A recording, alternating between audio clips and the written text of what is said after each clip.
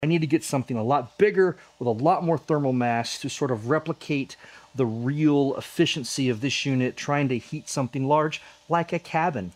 So let me stop this, dump this out, and see if I can get something here to heat up with a large thermal mass.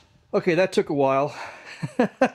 I have destroyed my shop, but um, this is a 100 gallon uh, stock tank brimmed with water and I have this heater plumbed to this tank. This will be probably over an hour, hour and a half test to see really what the output is of this. It's it's too much, but it's what I had, so we're going to do it.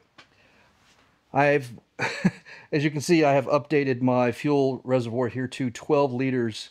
Hopefully this will be enough to get the job done because this is a uh, a lot to ask for this heater to run nonstop for roughly two hours we shall see.